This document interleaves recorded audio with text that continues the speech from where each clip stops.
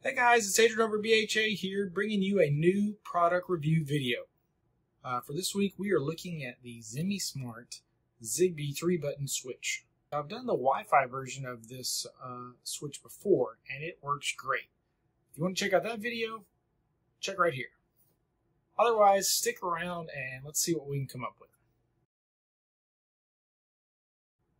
So the great folks over at Zemismart sent over this switch and since I've done some other Zigbee stuff lately, uh, including the Tuya Zigbee Gateway, I thought it'd be cool to check this switch out and see if we couldn't get it working uh, with all the various things as well. So on their website, as you can see, it's a little over $29 uh, to purchase uh, this switch. So not too bad. Uh, you'll be able to control three different devices with it. And obviously it's a single gang uh, wall plate, so you'll have the ability to control three devices from one central location. Let's check it out.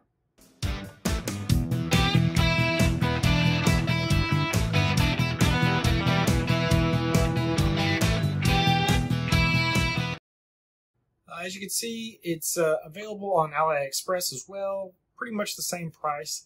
I wasn't able to find it on Amazon, so I'm not sure if it's currently uh, for sale on the Amazon website. But but your best option is probably just to get it straight from Zemismart. So let's do a quick run through everything we're going to cover in this video. So of course, for starters, we will uh, unbox the device. Uh, once we do that, we'll kind of go through installing the switch in the wall.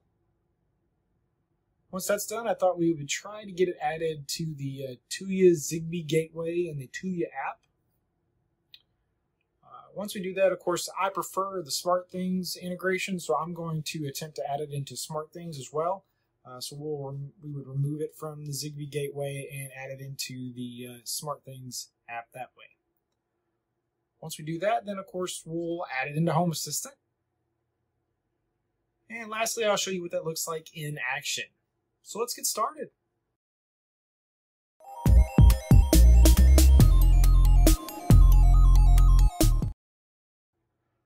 So uh, here it is, uh, the box that it comes in. Of course, it's a smart wall switch.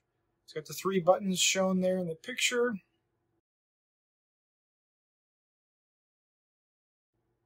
Uh, see, once we open up the box, it's got the instructions in there.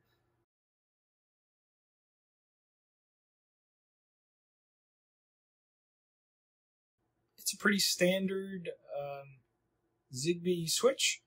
It requires the neutral and the ground, of course, and then it has the uh, has the spot for the power in, and then of course load out to three different devices, uh, depending on how you want to get this set up.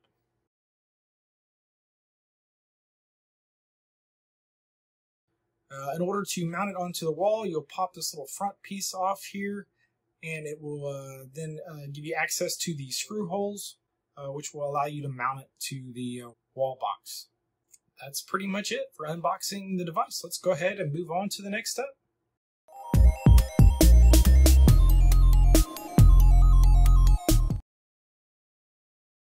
All right, so I don't have a lot of single gang uh, wall plates around my house. Most of my rooms all have multiple switches uh, tied to them at each location, uh, so it's hard for me to find a good spot to put this switch.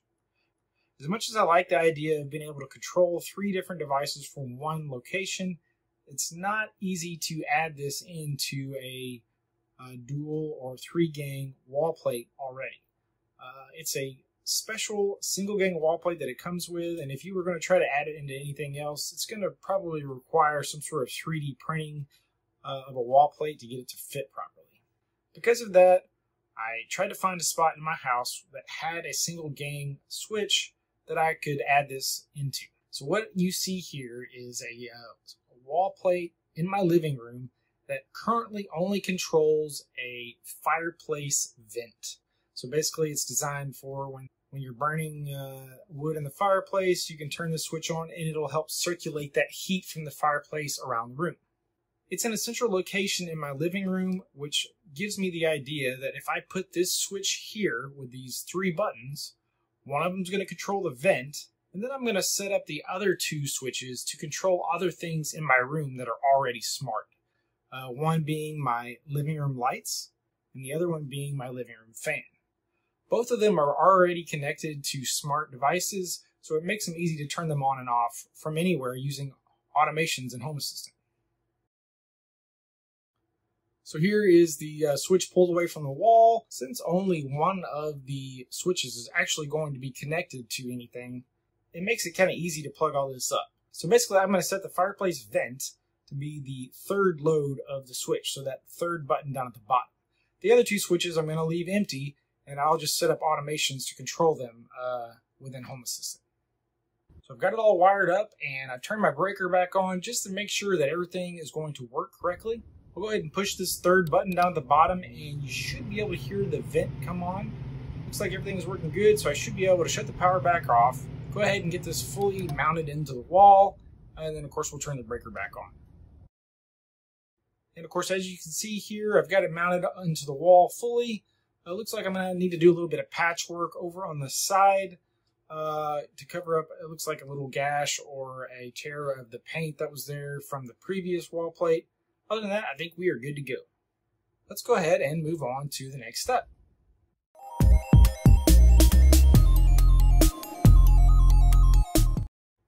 Alright, so I want to get it added into the Tuya Zigbee Gateway.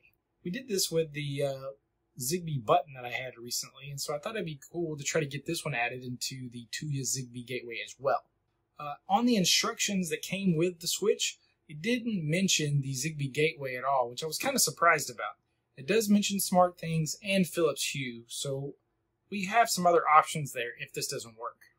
Basically, follow the directions. You're going to want to put it in pairing mode if it's not already in pairing mode by default.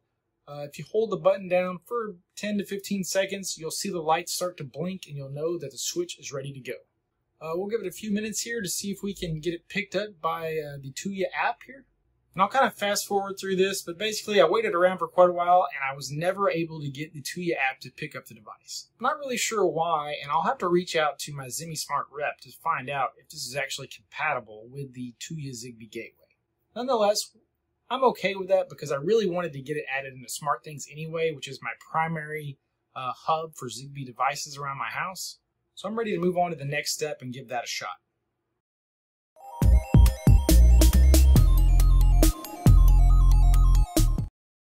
Alright, based on the instructions that came with the Zigbee switch, we have to uh, set up a custom device handler for this switch to work properly with SmartThings. So we're going to go over to GitHub uh, you can do a search at the top of GitHub for Zemismart.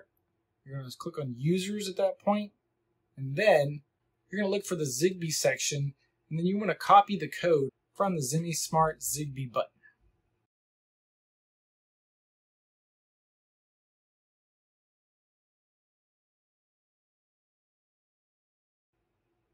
At this point, we can jump over to the SmartThings IDE. Uh, we'll go to the Device Handlers section we're going to click on Create Device Handler. You'll say from code, and then you're going to paste in that code that you just copied earlier. Once you hit Publish and Save, then we're ready to jump over to our app and see if we can't get the device added into SmartThings. Alright, unfortunately, I'm not exactly sure what happened, but the devices already showed up in SmartThings when I pulled up the app. I don't know if I did it by accident or, or what. It was really kind of strange. Nonetheless, it's picked up the three buttons, and now I can name them and should be able to start controlling them within SmartThings. So the first one is going to be the living room light switch. Then, of course, the second one, I'm going to call it the living room fan switch.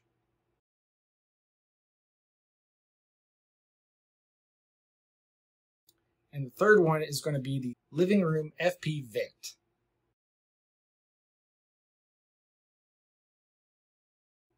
And I'll refresh SmartThings here to show you that the names did get updated correctly. They're all three listed correctly, so we should be good to go.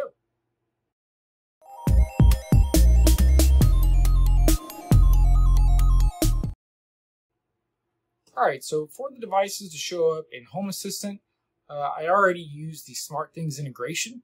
Now it will automatically pick up those switches eventually, uh, but if I want to speed up the uh, turnaround on that, I can go ahead and restart Home Assistant so it will go out to SmartThings and pull in the latest information. And as you can see in Home Assistant in the SmartThings integration now, we have the three new uh, switches that we just put in. The living room light switch, the living room fan switch, and of course our fireplace vent. Now if you remember correctly, only the third switch, which is our fireplace vent, is the one that currently is connected to anything. So we need to create automations for the first two buttons so that they will control the devices that we want. And that's what we're going to do here. So from the command line, I'm going to edit my switch automations.yaml file here. Uh, let's see, for the ID, it's going to be living room fan switch.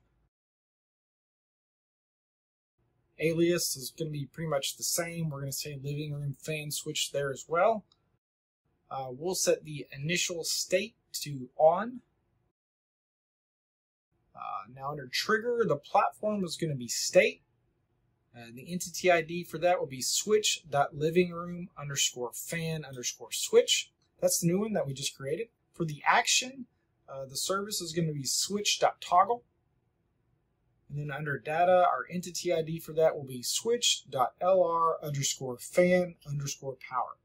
Basically, what this automation is saying is that if that living room fan switch button is pushed, it's going to toggle the living room fan power. Since we don't really care about the state of this switch in particular, all we want it to do is whatever state the, uh, the fan is in, it's going to toggle it on or off.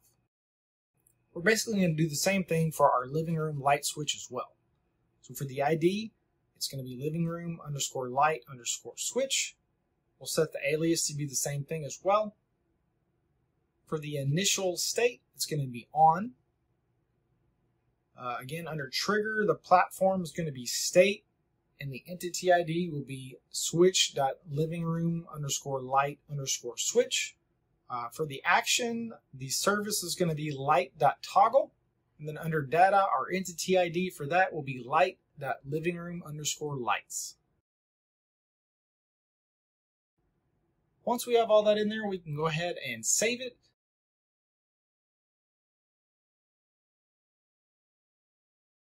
And then we're going to jump over to the web interface and do a check config, make sure everything comes up clean.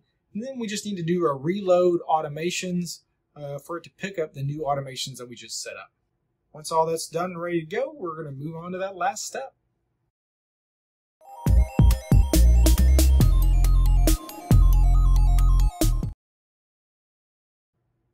All right, so I'm not sure how well you're going to be able to see this, but we're going to try it anyway. So here is the three buttons again.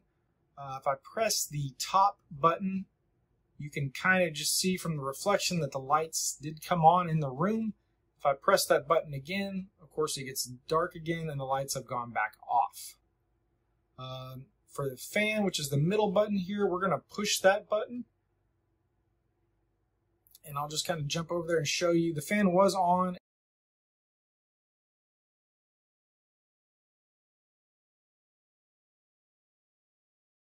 And is now slowing down, so the fan is currently going off. That's pretty much it, guys. We have uh, set up this Zigbee switch in SmartThings, uh, partly because we couldn't get it configured uh, with the Tuya Zigbee gateway. Uh, the other reason, uh, I prefer SmartThings anyway. So I'm okay with that. I will follow up with my Zemismart rep and I will update uh, in the description what I hear back from them on the Tuya Zigbee Gateway. But for 30 bucks, you can control three devices. I think it's worth a shot. Definitely check out Zemismart's website uh, for all of their other products. They have tons of smart gear out there and they're putting new stuff out all the time. Let's do a quick run through everything we covered in this video. Of course, for starters, we unboxed the device. Uh, once we were done with that, we installed the switch in the wall. Uh, after that, we tried to get it added into the Tuya Zigbee gateway, didn't really work. So then we tried to add it into SmartThings, which did work. Uh, once that was done, of course, we showed how it was integrated into Home Assistant. And lastly, I showed you what that looked like in action. Again, that's the end of the video, guys. I probably like the Wi-Fi version a little bit better than the Zigbee version, mainly because with the Wi-Fi version, we can get it set up with Tasmota custom firmware, which I thought worked out really well. But because this device integrates with SmartThings and so many of my other Zigbee and Z-Wave devices communicate with SmartThings, I'm good with that as well. I want to thank everybody uh, that has donated to my Buy Me a Coffee link. Every little bit helps. If you haven't had a chance, check out my Teespring merchandise page uh, for all your BHA or Burns home automation merchandise.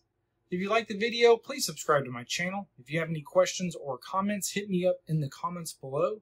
As always, if there are any videos out there that you would like to see that I don't already have out there, let me know in the comments as well, and I'll see if I can't get something put together for you guys. Otherwise, I'll see you guys around. Thanks.